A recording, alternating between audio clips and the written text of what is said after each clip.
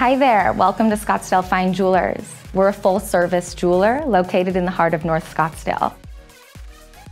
We specialize in one of a kind fine jewelry and custom jewelry. We buy golden jewelry from the public so that we can melt it down and make our own.